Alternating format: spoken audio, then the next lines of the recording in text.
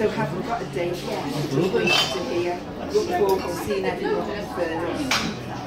So I said back to got to spend some time. Yeah, hopefully you'll get a date sorted. Um, see you first. The deadline is twelve thirty. Um, so if we need to drag the time, so yes, that's great to see you then. It really is in your local, isn't it? Yeah. I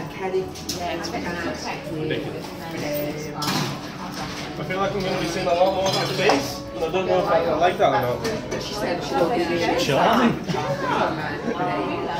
I know. that was the, nail in the coffin? yeah. So much, yeah. The suburbs.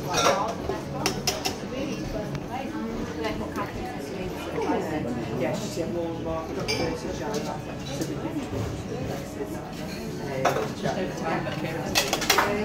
And she said, uh, she said, work.